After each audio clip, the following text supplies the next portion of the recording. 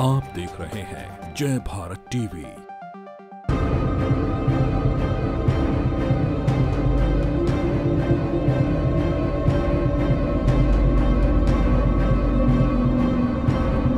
उत्तराखंड के उधम सिंह नगर में भारी बारिश के पानी ने चौतरफा तबाही मचा दी है। सबसे बुरे हाल टनकपुर, बनबसा और खटीमा के हैं।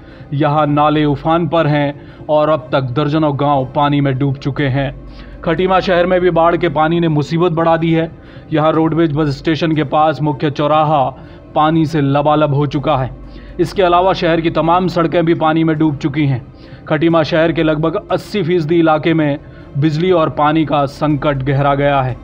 इस बीच हल्दी गाँव में बाढ़ का पानी लोगों के घरों में घुस आया। इस दौरान घर का सामान निकालने के दौरान दो युवक पानी में डूब गए और उनकी मौत हो गई। शारदा नदी में आई बाढ़ का असर यूपी में भी दिखाई दे रहा है। पीलीभीत में भी कई गाँव बाढ़ की जद में हैं। इस बीच उत्तराखंड के सीएम पुष्कर सिंह धामी भी खटीमा पहुँच गए हैं।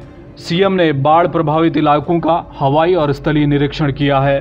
प्रशासन ने खटीमा में अगले आदेश तक स्कूल, कॉलेज बंद रखने के आदेश दिए हैं। ब्यूरो रिपोर्ट जय भारत टीवी।